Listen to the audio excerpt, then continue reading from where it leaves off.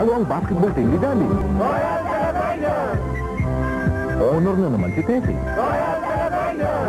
May handang royal. Pag-ibig makarami.